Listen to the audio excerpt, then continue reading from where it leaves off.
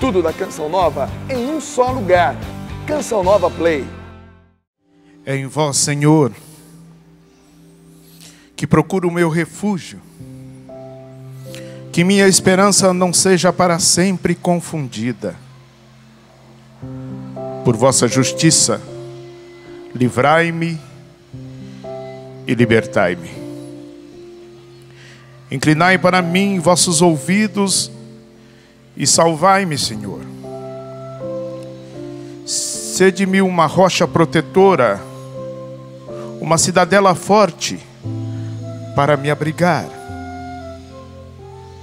E vós me salvareis, porque sois meu rochedo e minha fortaleza.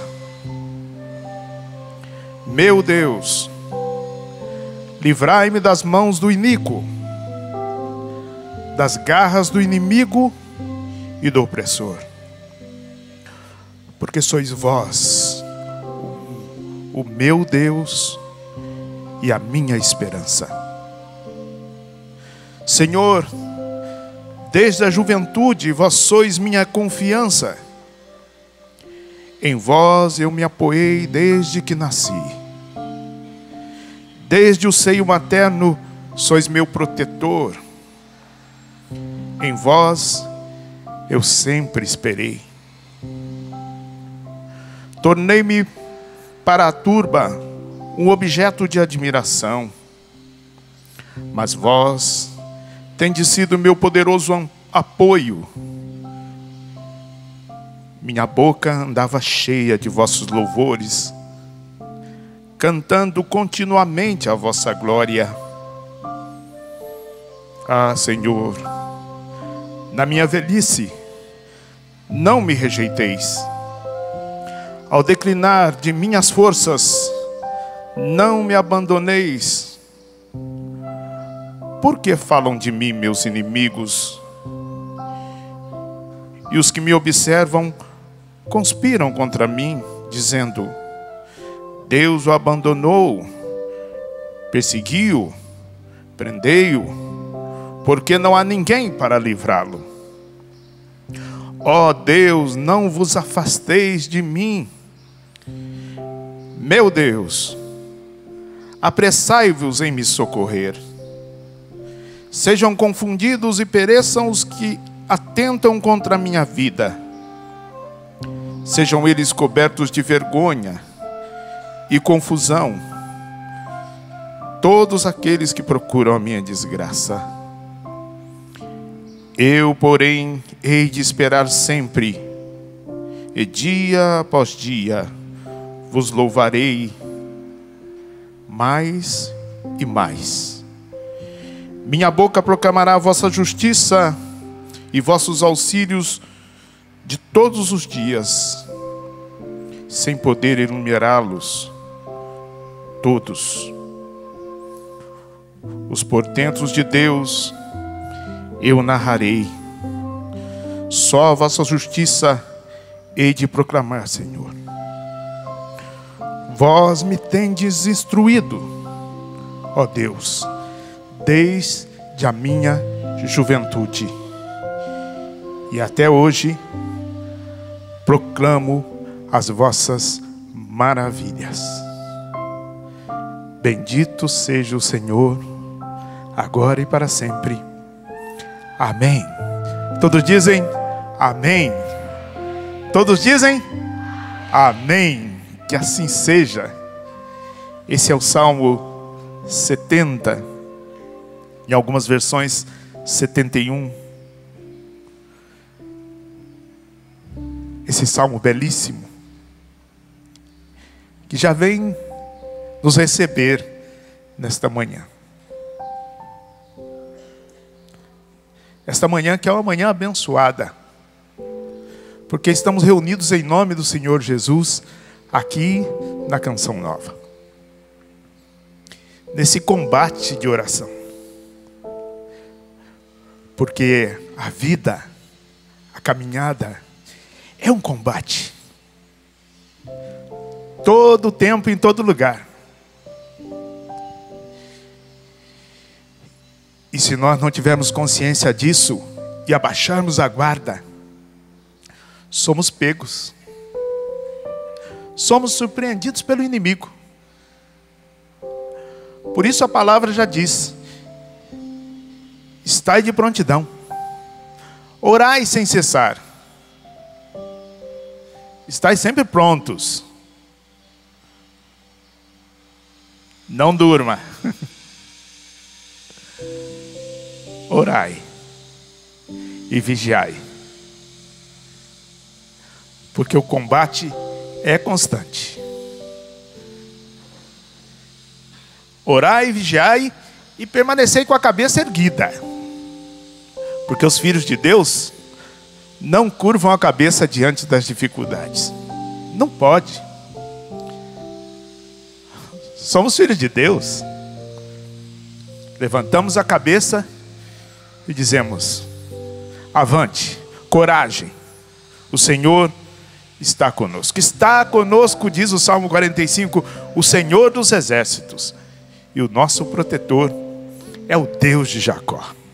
Você pode proclamar isso nesta manhã? Está conosco, diga. Está conosco o Senhor dos exércitos. E o nosso protetor é o Deus de Jacó. Nós estamos proclamando isso diante de qualquer luta, dificuldade, sofrimento que você possa estar passando hoje, ou passou ontem, ou passará amanhã. A palavra é esta: está comigo o Senhor Jesus. Ele é Emmanuel. Ele é Deus conosco. Está conosco o Senhor dos exércitos.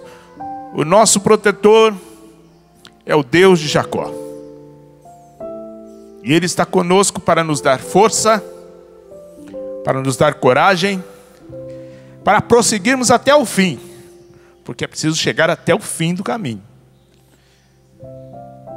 onde o encontraremos de braços abertos, dizendo: Ei, servo bom e fiel, que bom que você chegou. Talvez a gente chegue lá bem estropiado, né? Porque as lutas do caminho não são fáceis mas Ele é o restaurador.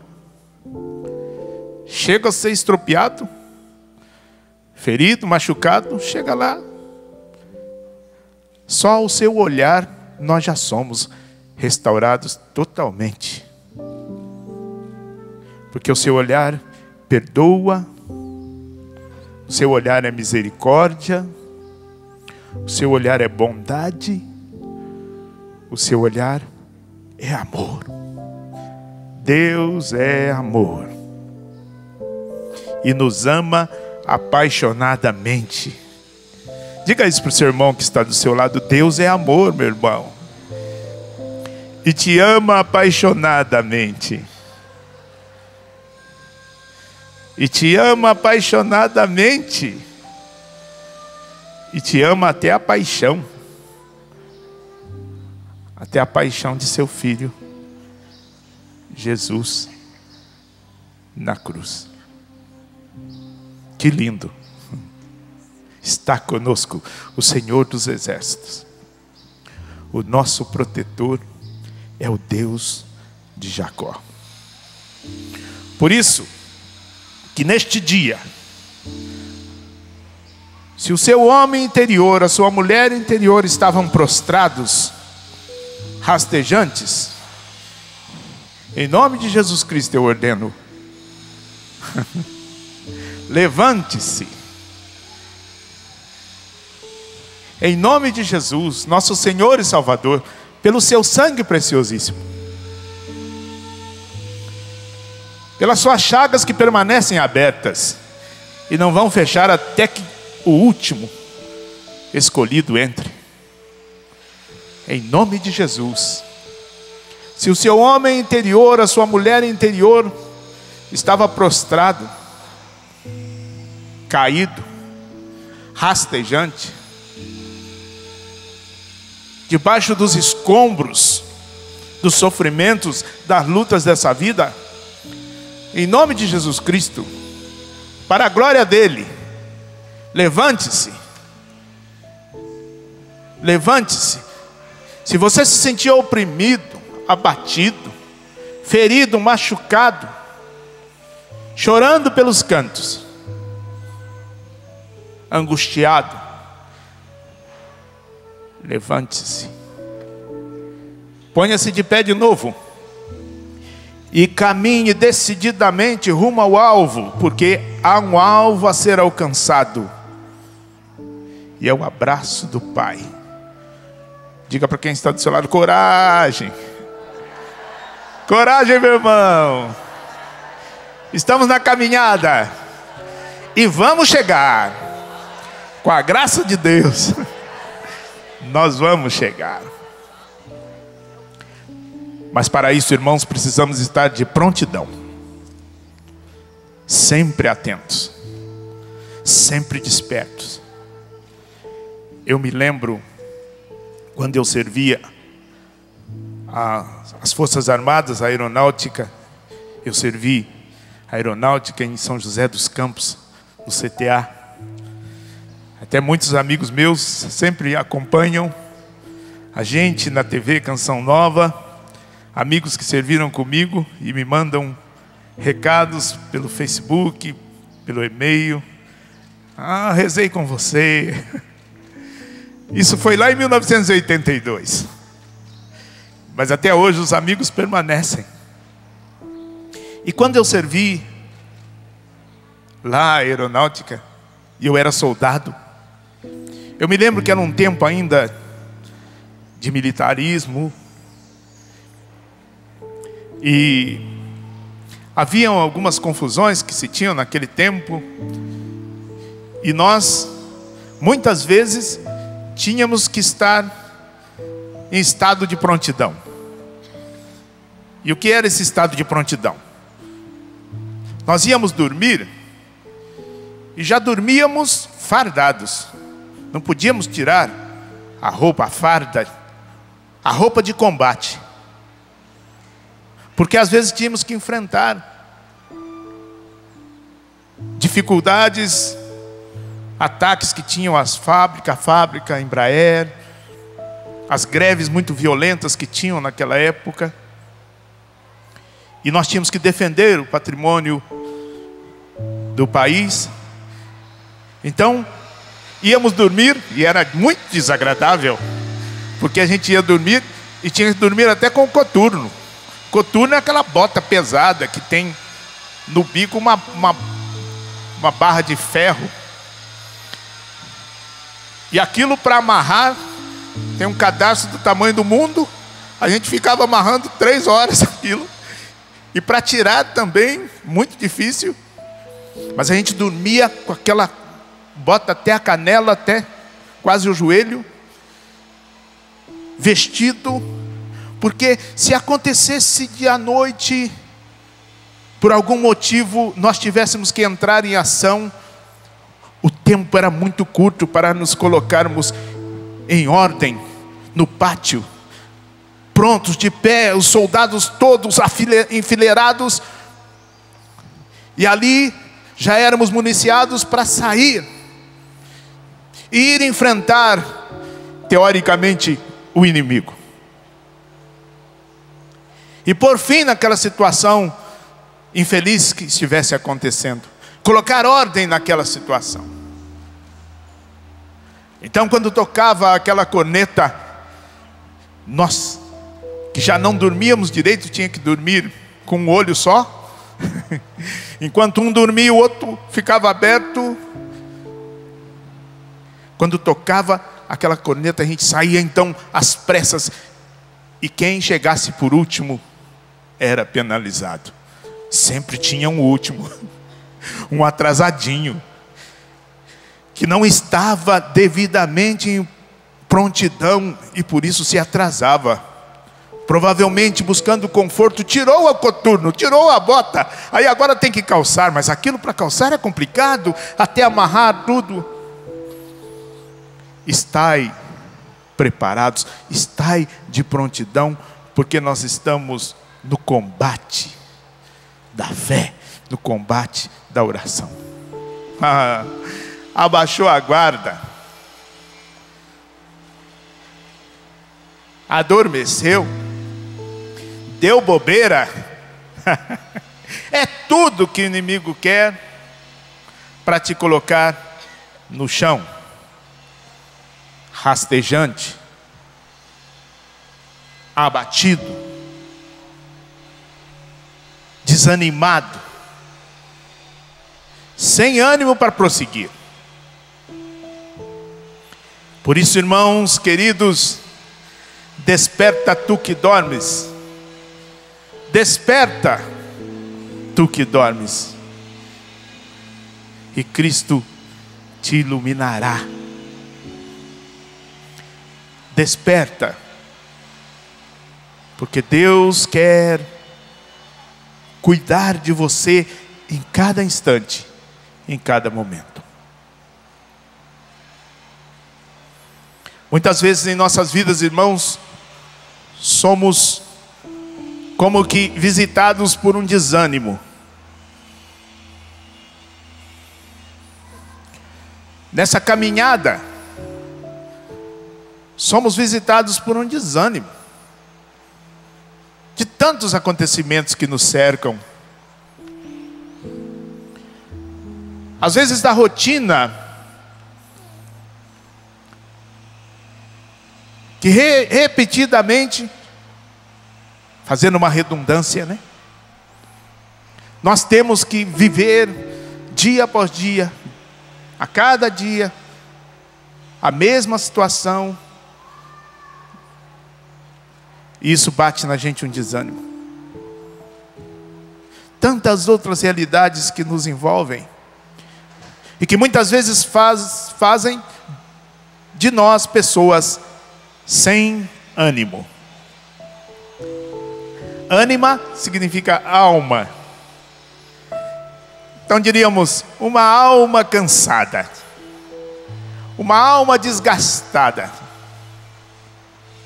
uma alma prostrada, que consequentemente faz também do nosso corpo um corpo cansado, esgotado, desanimado. É tão triste a gente conviver com uma pessoa sem ânimo, desanimada.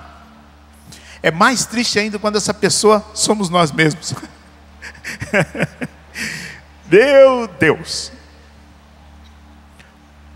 Porque se você está convivendo com uma pessoa desanimada, de vez em quando você tem um sossego, porque você pode se afastar dela e ir para outro lugar e estar com pessoas mais animadinhas.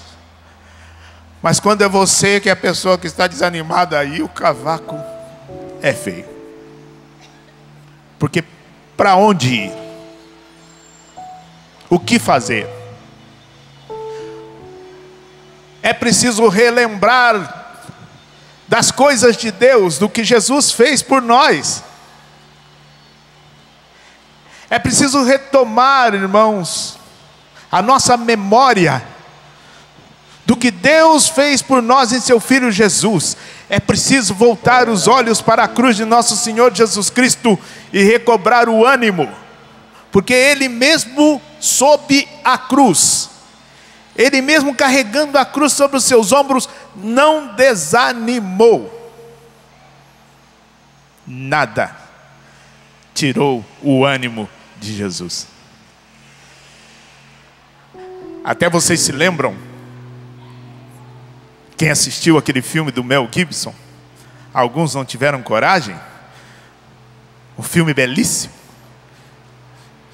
Em alguns momentos, quando Jesus estava carregando a cruz, e de repente, por causa do peso, do sofrimento, das dores que enfrentava, a cruz lhe escapava, caía. Ele desesperadamente buscava a cruz. Ele estava animado a levá-la até o fim. Ele estava animado a ir até o fim na sua missão. E nada o tirava do foco. Que lindo. Ânimo. Coragem. Força. Eu quero tomar com vocês uma passagem que está na carta aos Hebreus, no capítulo 10. Quem tiver a Bíblia pode até tomar. Carta aos Hebreus, carta de São Paulo aos Hebreus, capítulo 10, versículos de 32 até o 39. É São Paulo falando, não é qualquer um, não sou eu, não é você, não é o outro, é São Paulo. Aquele mesmo que antes era chamado Saulo. E que se converteu de uma tal maneira que também não perdeu o ânimo no seguimento de Cristo. Diz assim a carta de São Paulo aos Hebreus: Lembrai-vos dos dias de outrora, logo que fostes iluminados, quão longas e dolorosas lutas sustentastes. São Paulo falando aos cristãos. Essa palavra é para os cristãos, é para os que estão dentro da igreja, é para os convertidos. Os não convertidos ainda não conseguem compreender esta palavra. Aliás, o tema desta nossa palestra é mesmo no desânimo, permaneça fiel. Desânimo no segmento de Cristo, desânimo no, na caminhada, é uma palavra interna, é uma palavra para nós que estamos na igreja. E São Paulo está se dirigindo à comunidade, à igreja.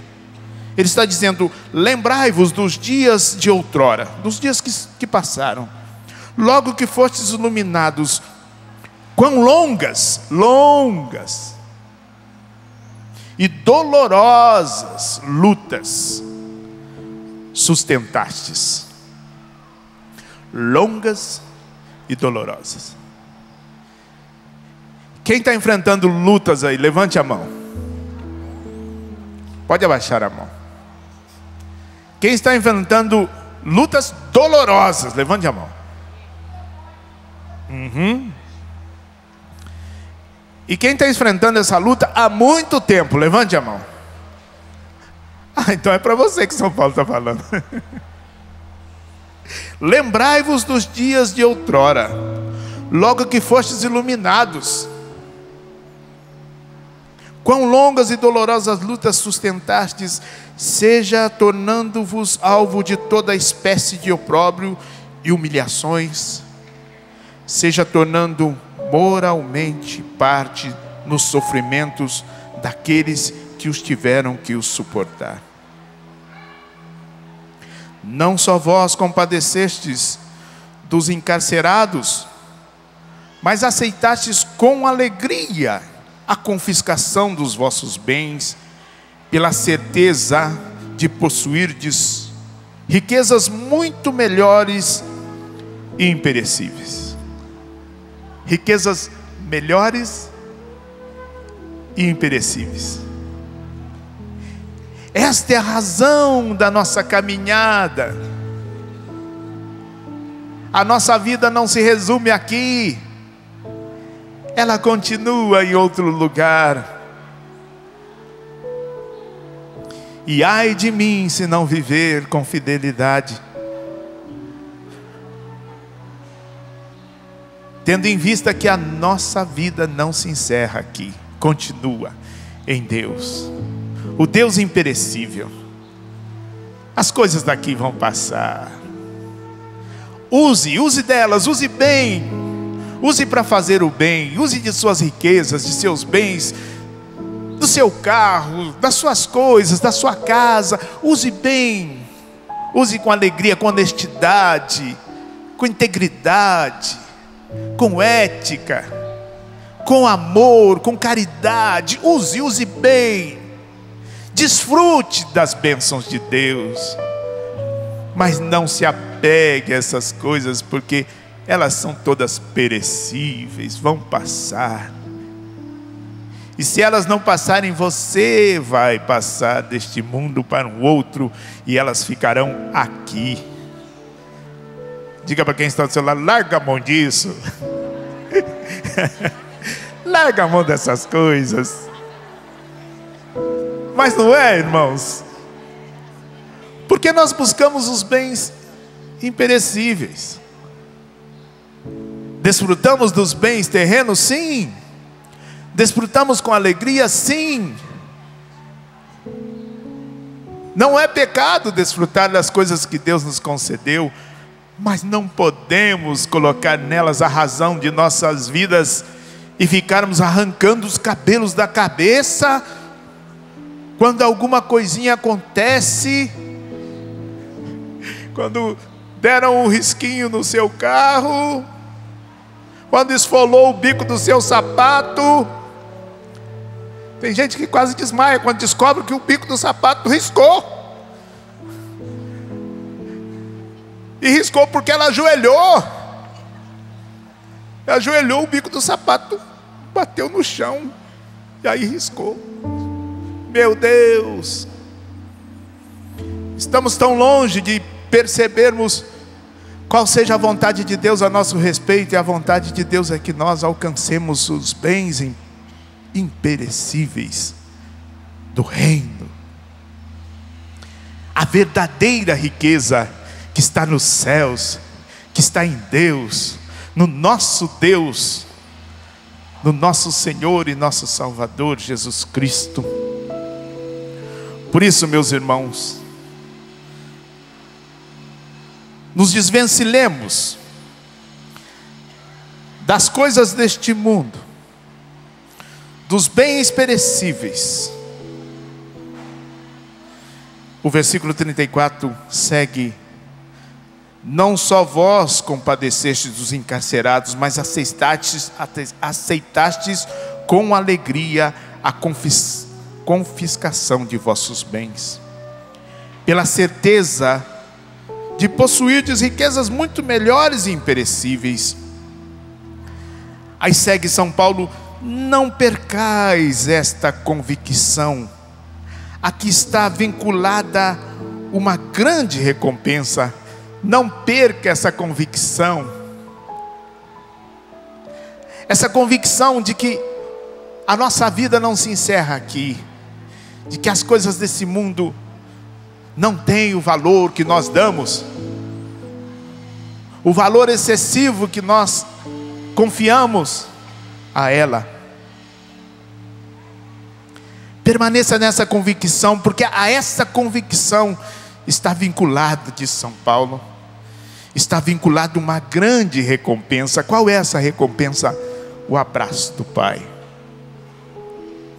Pois, pois vos é necessário a perseverança para fazerdes a vontade de Deus e alcançardes os bens prometidos a perseverança na fé, na esperança, no amor, pois é necessária a perseverança. Meus irmãos, de que adiantaria um homem estando nas Olimpíadas, numa corrida, e ele então correndo naquela corrida que lhe daria a medalha de ouro, e ele estando em primeiro lugar, e ele chegasse a 100 metros da faixa, a 10 metros da faixa, a um metro da faixa de chegada, a meio metro, a 30 centímetros, mas não cruzasse a linha de chegada. Meu Deus, Correu 10 quilômetros numa maratona. Tem maratonas mais longas. Mas 10 quilômetros já dá para cansar bem. Eu, se correr 100 metros, eu já estou com a linguinha de fora. Você também? Tá. Mas tem gente que corre 10 mil, 40 e tantos mil metros. Quilômetros. E vai correndo. Eu fico imaginando, depois de 40 quilômetros correndo, A gente não sabe mais nem o nome da gente. Se vê os filhos, fala: Quem é você? De tão esgotado que a pessoa fica. Você imagine tendo vivido toda esta realidade, corrido tudo isso, depois de ter passado o ano inteiro, ainda tem mais essa, treinando. E corre na montanha, e corre no meio do canavial, e corre não sei na onde, e corre aqui, e corre ali. Quando chega na hora da corrida oficial, a 30 centímetros da chegada, da faixa de chegada, ele então senta no chão e diz: Desanimei, cansei. Vai ganhar a medalha? Pior, não vai ganhar a medalha. Outro virá e cruzará a linha de chegada, e você ficará em segundo, se cruzar depois do primeiro, ou então pode chegar no último lugar.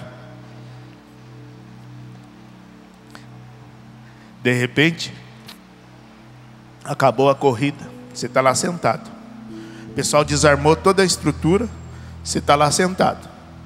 Todo mundo foi embora, você está lá sentado, está desanimado, né? Apagaram-se as luzes, você está lá sentado. Foi todo mundo embora e você dormiu sentado. Quando acordou no dia seguinte, percebeu: Ué, acabou a corrida? Ó, faz tempo. O pessoal já está longe. Tem gente que já está em outro país já.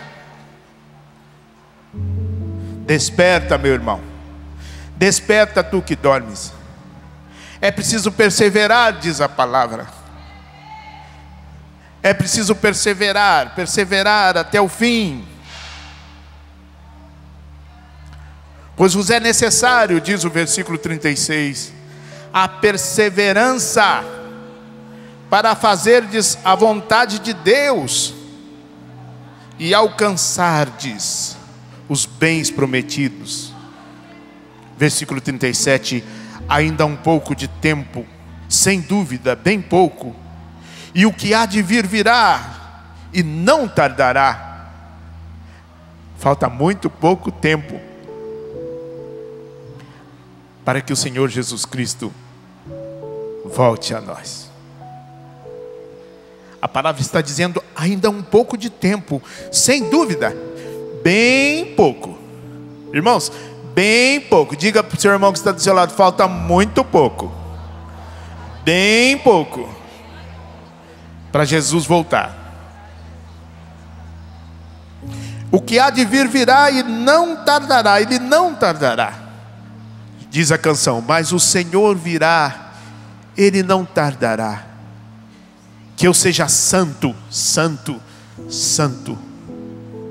Santo na perseverança, da fé, da esperança, do amor, do combate da oração, do combate da fé, sem abaixar a guarda, sem adormecer. Versículo 38 diz o Senhor: Meu justo viverá pela fé. Nós, filhos de Deus, igreja de Cristo, nós viveremos pela fé. Fé em Jesus Cristo, fé nas Suas promessas, fé sem desfalecer, esperança. Agora diz também a palavra, porém, se meu justo desfalecer, meu coração já não se agradará dele. Meu Deus, isso é palavra de Deus. Meu justo viverá pela fé. É pela fé que se vive. Fé até o fim.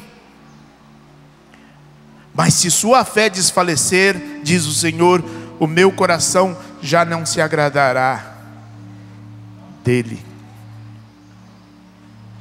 Que triste. Ah, eu tinha fé. Ah, eu já fui um homem de fé. Ah, eu já participei muitos anos da igreja. Mas agora eu não acredito em mais nada. Agora eu tô por conta. Agora eu deixo a vida me levar. Oh, meu Deus. Você adquiriu a fé, conheceu a verdade, experimentou os frutos da sua fé, os frutos da verdade, e agora você vem me dizer: eu não creio mais nada, estou decepcionado, estou desanimado com a igreja, estou desanimado com Jesus, estou desanimado com esse Deus.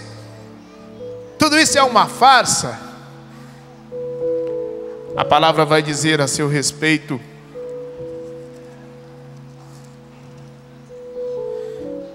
Meu justo viverá da fé. Porém, se ele desfalecer na sua fé, meu coração já não se agradará dele.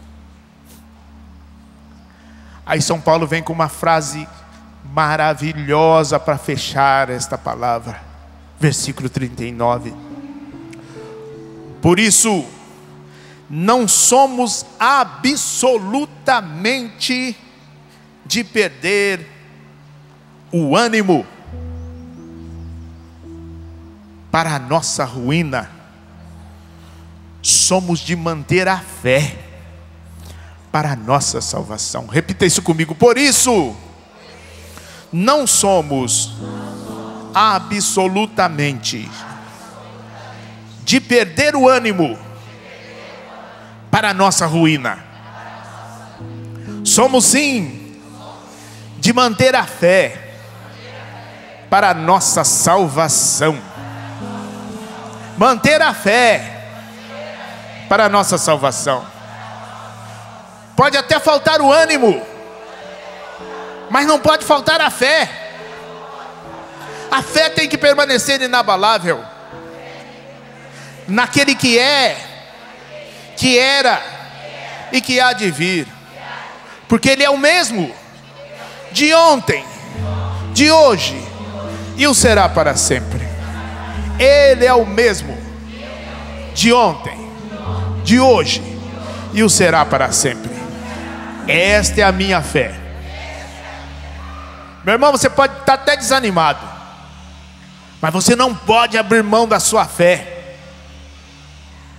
Porque o desanimado também pode cruzar a linha de chegada, se tiver fé. Agora, o homem sem fé, mesmo animado, eu não sei se é possível ter ânimo sem ter fé. Este não cruza a linha de chegada. E se cruzar, correu em vão, porque não há prêmio.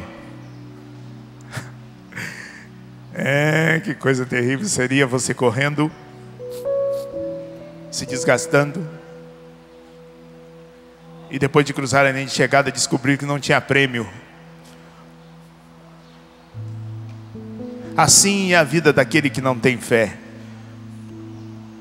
Corre numa esteira, corre sem sair do lugar, corre para chegar em lugar nenhum. Mas não a nós, filhos de Deus, que temos fé em Deus, que acreditamos no Deus Salvador, restaurador das vidas e das almas, não a nós, porque nós sabemos em quem temos colocado nossa confiança e sabemos que Ele se entregou por nós na cruz e ressuscitou no terceiro dia e está vivo. Está vivo aquele que nos chamou. O desânimo pode chegar? Pode já chegou muitas vezes para mim, eu já fiquei bem desanimado uns dias aí, viu? Ok? Diante das dores, dos sofrimentos, das lutas, das perdas. Teve dias que eu falei, não vou aguentar. Já chegou para você algum dia, alguma vez? Alguém já ficou desanimado, já se sentiu desanimado alguma vez aí? Levante a mão. Só pode falar a verdade, não tenha medo não. Porque somos humanos. Começamos com o desânimo da luta pessoal, né? As lutas que você trava consigo mesmo e que muitas vezes você perde e perde e perde de novo. Aí quando você pensa que você está forte, que você vai conseguir superar, vai lá, o que acontece? Perde outra vez. Aí você percebe, só o Espírito Santo de Deus pode dar jeito nessa situação. Aí abraça Ele, invoca Ele, e Ele lhe dá a vitória. Luta pessoal. Muitas vezes nos desanimamos nas nossas lutas pessoais, nos nossos combates interiores, que ninguém sabe, só nós, que está lá no íntimo do nosso coração. Você sabe do que eu estou falando. As suas lutas, as suas dificuldades, os seus problemas íntimos, aquelas realidades que às vezes te fazem ter é, é, reações, reações desproporcionadas diante das situações, diante das pessoas. Aquela luta que não cessa interior e te faz perder o ânimo. Mas às vezes a gente perde o ânimo também porque temos que suportar as fraquezas dos outros. E é todo dia. O outro que está lutando do seu lado, todo dia atazando a sua vida. Você não tem descanso. Estou vendo muita gente balançando a cabecinha assim, dizendo: Por que é? Lá em casa, fora de casa, no trabalho, na escola, no vizinho. E você tem que suportar. Mas meu Deus, não muda. Não muda, coitada da mulher, da, da esposa. O marido não muda, coitado do marido, a mulher não muda, coitado do, dos pais, os filhos não mudam. Não se convertem. Continuam naquela situação e estão rezando, e estão dando conselho, e estão fazendo, mas não muda. Aí você fala, tô, eu vou desistir, não aguento mais. Bate o desânimo. Levanta a cabeça, meu irmão. No sofrimento, bate o desânimo. A gente está sofrendo tanto, o sofrimento não passa. Meu Deus, não aguento mais.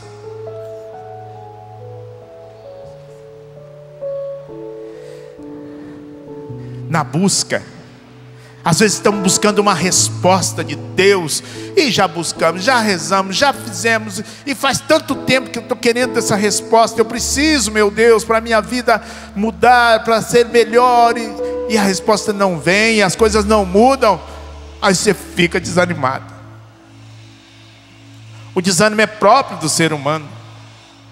Diante das tentações,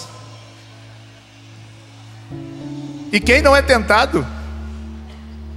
Quem não é visitado pela tentação? Todos somos. E muitas vezes aceitamos as sugestões do inimigo, aí ficamos desanimados, porque de novo nós caímos.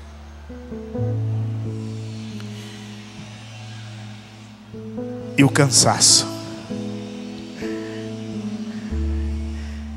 Quando a gente está cansado, meu Deus. Esse mundo de hoje nos faz cansados, verdade não é? Quem não está cansado de ouvir notícia ruim aí, levante a mão. Ah, você não está cansado. Porque eu estou cansado de ouvir notícia ruim. Acho que eu vou mudar a pergunta. Quem está cansado de ouvir notícias ruins aí, levante a mão. Pode levantar as duas, porque eu vou dizer, hein? Haja notícia ruim, meu Deus do céu. Se não quer ficar cansado, esgotado, exaurido das suas forças, de ouvir notícias ruins, Podíamos ouvir a boa nova, né? Mas as notícias são más porque os tempos são maus. Se você não quer ouvir notícia ruim, não liga o noticiário, porque se você ligar, meu Deus, dificilmente você vai ouvir uma notícia que seja agradável. Você dá uma respirada. Ai, até que enfim, uma noticiazinha, né? Fala a verdade. Não. Fala a verdade. É ou não é? Os tempos são muito difíceis. E essas notícias ruins têm nos cansado demais. O povo está entristecido, angustiado. E parece que há uma campanha para nos deixar ainda mais angustiados e desanimados, com a alma entristecida. Mas nós temos que bater o pé e dizer não. E vencermos o inimigo em nome do Senhor Jesus e dizer para ele: aqui não. Até tem um termo que diz: aqui não, tatu. Aqui é asfalto. Vocês sabem que tatu gosta de fazer buraco no chão, né? Essa é boa, né? Tatu gosta de fazer buraco no chão. Aí se ele vier fazer buraco aqui no seu chão, você diz para ele: Aqui não, tatu, aqui é asfalto. Asfalto é duro, né? Tatu não vai conseguir furar o asfalto. Nós temos que dizer isso ao inimigo: aqui não, tatu, aqui é asfalto. Se você está entristecendo os outros, não a mim, porque eu sei em quem tenho colocado a minha confiança. Eu tenho fé em Deus, eu tenho fé no Senhor Jesus. Os meus olhos estão fixos na cruz de nosso Senhor Jesus Cristo. Eu sou da Igreja Católica Apostólica Romana, a Igreja de nosso Senhor Jesus Cristo. Eu tenho a meu favor a confissão, os sacramentos, a Eucaristia. Eu tenho a meu favor Maria. Acaso não sabeis que sou da Imaculada? Acaso não sabeis que eu tenho uma advogada? Igreja católica, apostólica, romana. Aqui não, tatu, aqui é asfalto. Aqui não, inimigo de Deus. Nós sabemos em quem nós colocamos a nossa confiança. Essas palavras que nós acabamos de ouvir, de Hebreus, eu disse, é São Paulo dizendo. E tem uma passagem dos Atos dos Apóstolos a respeito de São Paulo e São Silas.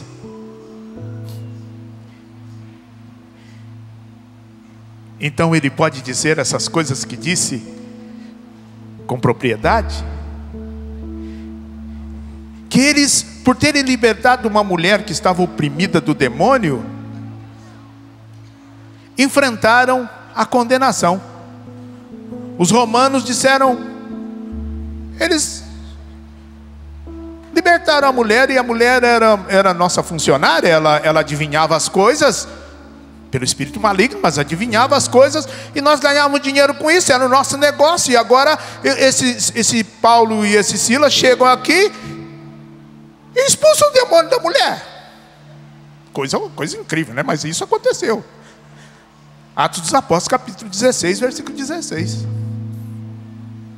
E eles ficam bravos e tomam Paulo e Silas, porque eles libertaram a mulher, e espancam os dois, fazendo chagas nos ombros, no corpo todo, eles ficaram dilacerados de tanto apanhar.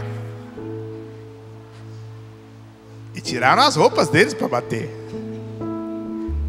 como fizeram com Jesus. E espancaram os dois, e depois deles estarem inchados, já feridos, quase que à morte, os prenderam e os lançaram no fundo da prisão, lá embaixo, no calabouço, onde tudo é úmido, onde os ratos passeiam, onde fica a fossa, a podridão. Aí eu pergunto: e Paulo e Silas então cruzaram os bracinhos, baixaram a cabeça e disseram: Pode deixar, vocês vão ver só, viu? E desanimados, deitaram e ficaram esperando a morte. Ah, agora que já apanhamos, agora que estamos presos, não, tem, não há o que fazer, vamos morrer, vamos esperar. A morte vem rapidinho. Não somos de, de perder o ânimo para a nossa ruína, somos de manter a fé para a nossa salvação. Sabe o que eles fizeram? Dilacerados, presos no fundo daquele, aquela prisão, começaram a cantar e a louvar a Deus.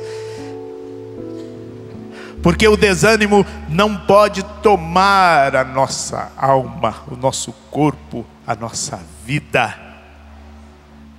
Mas a fé precisa nos levantar de onde nós caímos e nos colocar de pé de novo e há caminho. E há caminho. Anda. Começaram a cantar e louvar e glorificar a Deus. A Deus. Não blasfemaram. Não disseram, Senhor esqueceu de mim, esqueceu, o Senhor se esqueceu de nós. O Senhor fez tantas promessas e agora estamos aqui. Não, glória a ti, meu Deus, aleluia, glória ao teu nome. Feliz eu sou de poder sofrer em teu nome. Oh, glória. O que foi que aconteceu? Enquanto cantavam animados naquele grupo de oração dentro do presídio, as correntes se soltaram, as portas dos cárceres, aqueles ferrolhos, se abriram, e o homem que vigiava eles disse: que está acontecendo, meu Deus? E foi ao encontro deles dizendo: O que foi isso? Que Deus é esse? O que eu preciso fazer para ser salvo?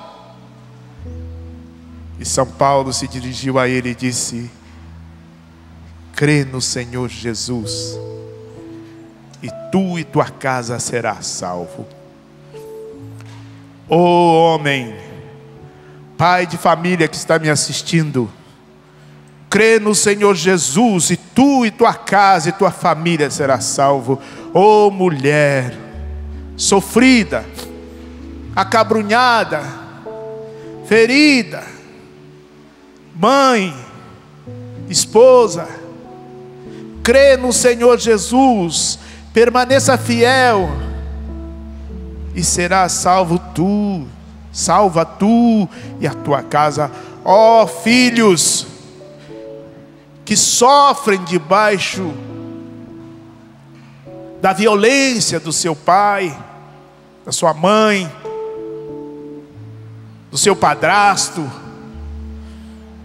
seja de quem for, crê no Senhor Jesus, mantenha-se firme na fé e será salvo, tu e a tua casa.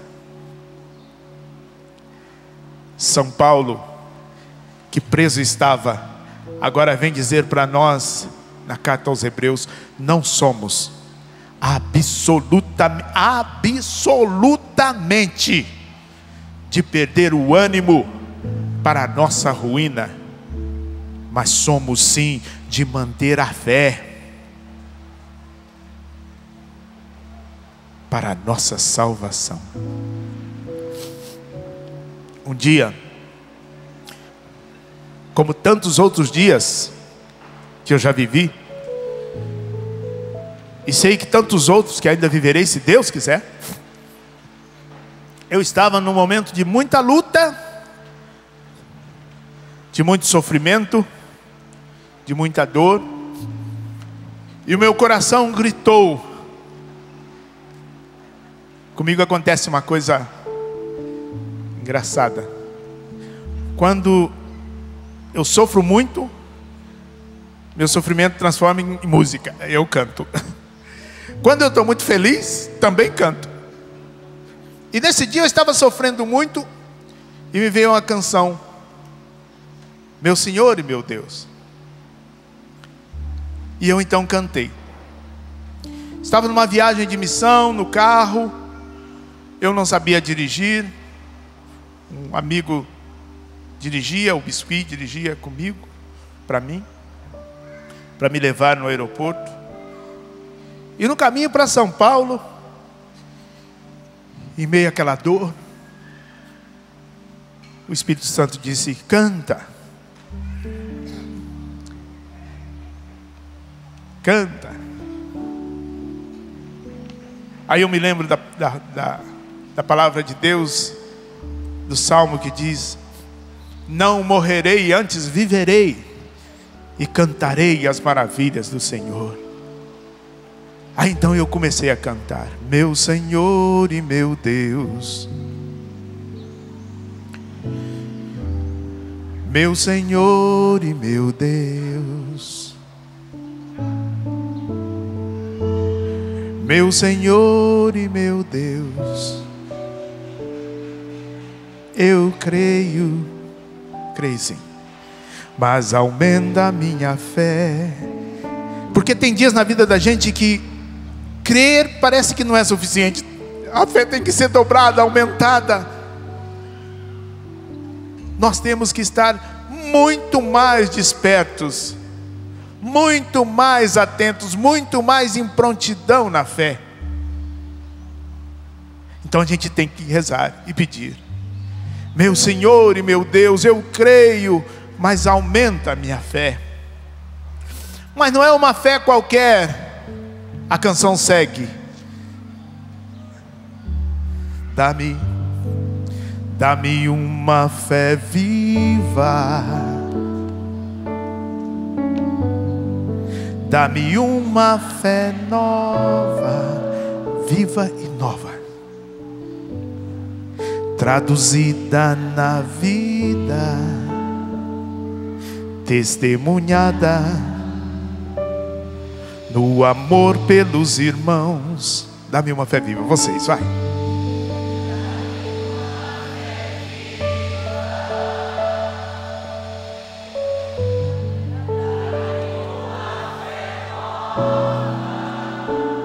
traduzida na vida, vai.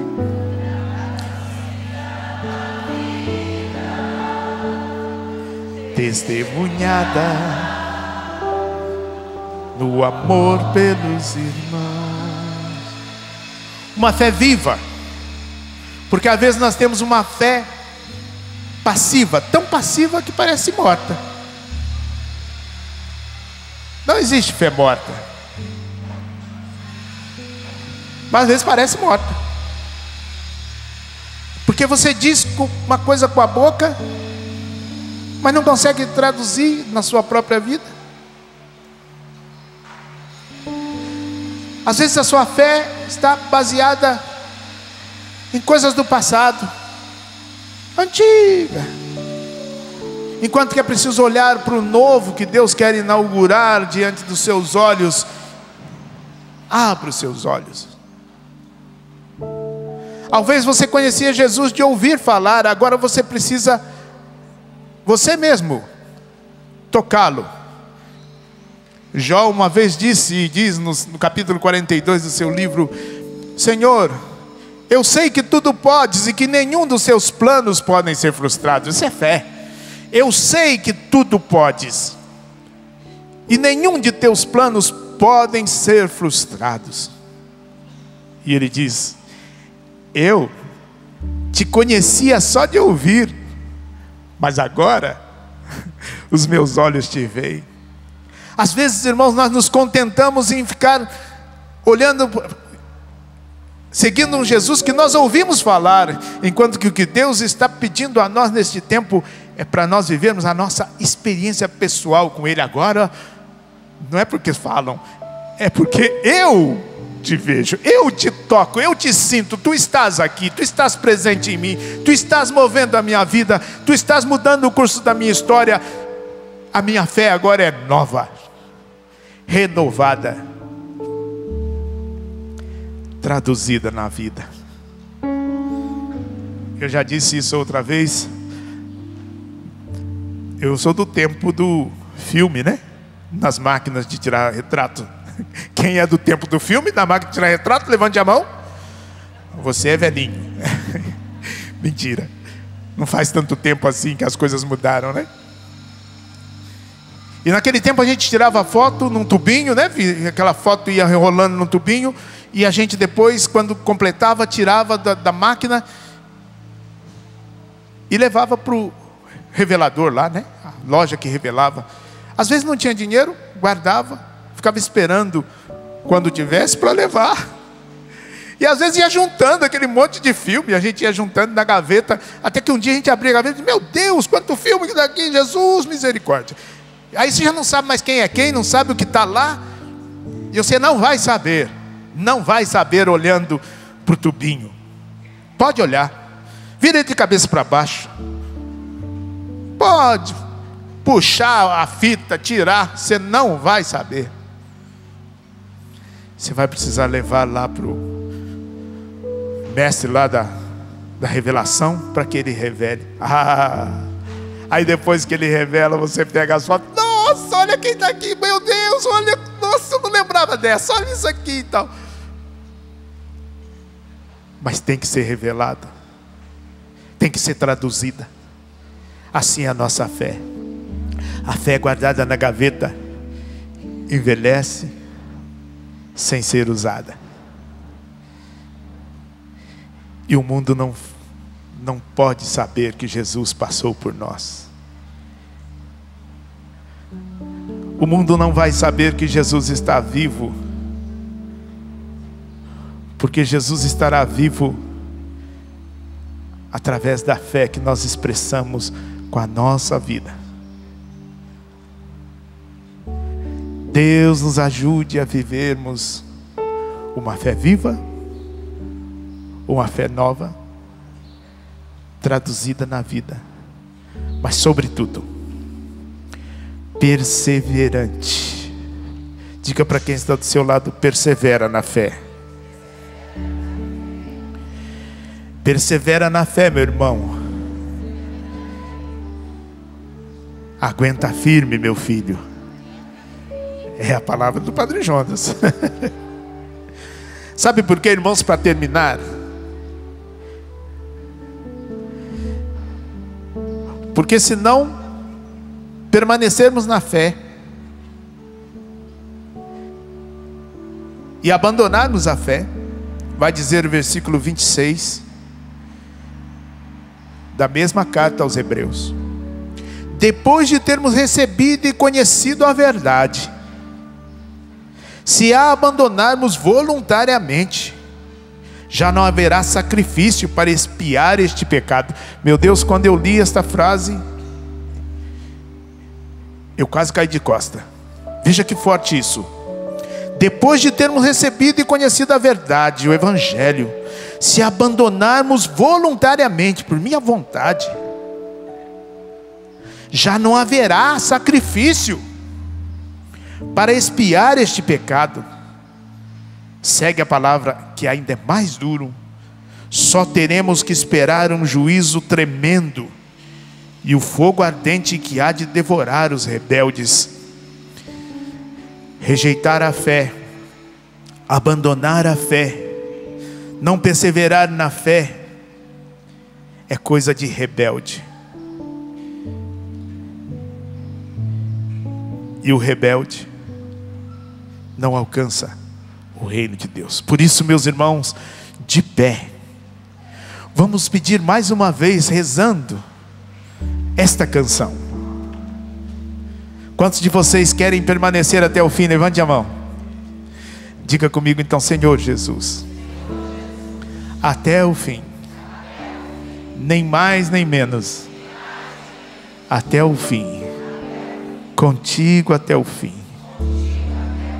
Por amor a ti, por amor à igreja, por amor aos meus, por amor à minha alma. Contigo, Jesus, até o fim. Fé, fé em Deus e pé na estrada. Amém. Esse já é outro acampamento, é o acampamento sertanejo. Vamos lá então. Meu Senhor e meu Deus. Meu Senhor e meu Deus. Vai lá, Emanuel, vai lá, meu filho. Declara.